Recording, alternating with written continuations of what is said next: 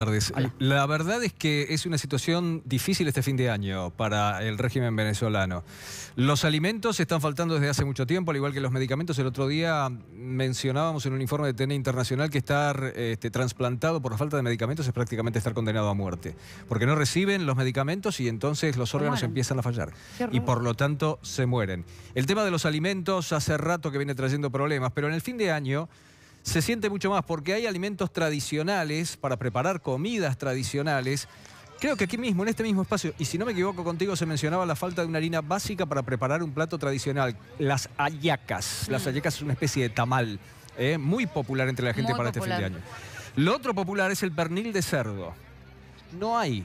El presidente Nicolás Maduro ha dicho que iba a saturar a Venezuela de pernil de cerdo y que lo iba a subsidiar para que todo el mundo tuviera acceso a una Navidad feliz y un largo etcétera. Y eso no ha sucedido. Mira, por estos, todos estos motivos y, también por este del pernil de cerdo, eh, más el combustible, hay manifestaciones en varios puntos. Han salido cientos y cientos de personas a la calle que son vigilados muy detalladamente por la Guardia Nacional Bolivariana. Incluso se han registrado algunos incidentes. ¿Qué es lo que dice Nicolás Maduro?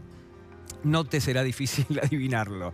Que hay una conjura internacional ah. encabezada por los Estados Unidos. Para anular el pernil de cerdo. Exactamente. ¿Y, quién tiene la culpa? Portugal. Ahora apareció. ¿Y cómo íbamos a dejar afuera? El mapa se va cayendo de a poco. Pensé que era Donald Trump. Eh, bueno, Donald Trump que dice: Portugal no se banca las presiones del régimen de los Estados Unidos. Si te parece, compartimos el testimonio. A ver. Tengo que decirle algo del pernil a ustedes para que sepan. Porque no me gusta quedar en deuda con nadie, y menos con el pueblo al que amo.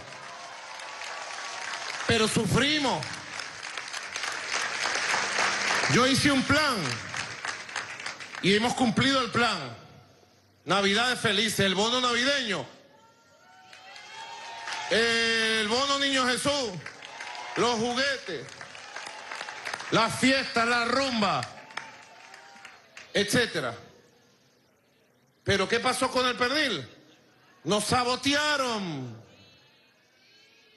Nos sabotearon. Puedo decirlo de un país, Portugal. Estaba listo porque nosotros compramos todo el pernil que había en Venezuela. Todo lo compramos.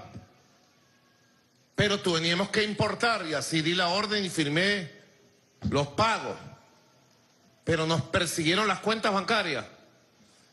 Nos persiguieron los dos barcos gigantes que venían y nos sabotearon por ahora.